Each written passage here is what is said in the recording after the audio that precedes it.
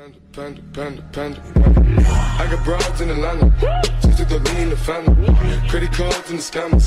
Getting no in the. Legacies. السلام عليكم ورحمة الله وبركاته أصدقائي في هذا المقطع على قناتكم داركتون سأعرض لكم اليوم مقطع جديد بعنوان أفضل خمس كرتونات تجابه روعتها الأنميات وهي حقا كرتونات ممتعة ورائعة ولقد كانت هذه فكرة صديقي صاحب قناة برنس هيسوكا وهي قناة عن الأنمي. اشتركوا معه ستجدون الرابط أسفل الفيديو. Okay والآن أترككم مع المقطع.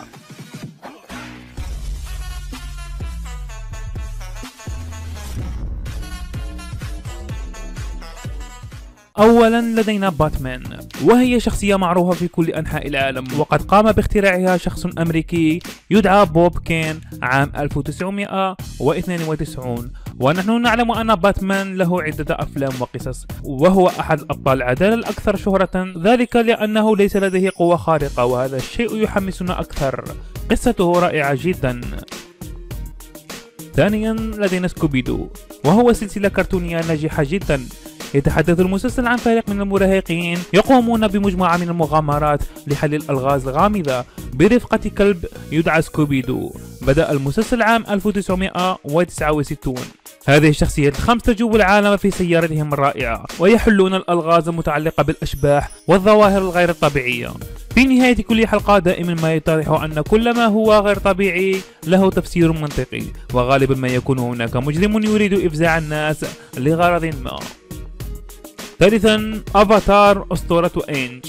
القصة هي أنه كان هناك أربعة عناصر الماء الهواء الأرض والنار. وكانت الأربعة عناصر تعيش في سلام ولكن تغير كل شيء بعدما هاجمت عشيرة النار. فقد الأفاتار سيد الأربعة العناصر يستطيع إنقاذ العالم لكن عندما احتاجه العالم اختفى.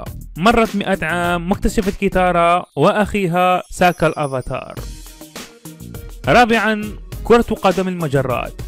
تحكي القصة عن إيرس الذي أراد أن يكون فريقا مع صديقه كلامب لربح كأس كرة قدم المجرات بعد فشله في ذلك ذلك بسبب الانهيار الجليدي الذي غطى كيلان كلها بالجليد. بفضل شبان صغار تمكن من تكوين فريق وهو حقا كرتون ممتع. خامسا وأخيرا Ben Ten Alien Force.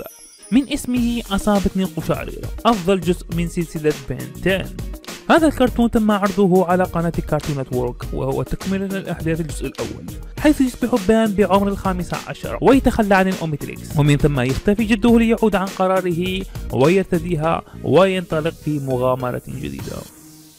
ولقد وصلنا لنهاية هذا المقطع. أرجو أنه نال إعجابكم شاركوه مع أصدقائكم. لا تنسوا اللايك والاشتراك. كان هذا كل شيء. مع السلامة.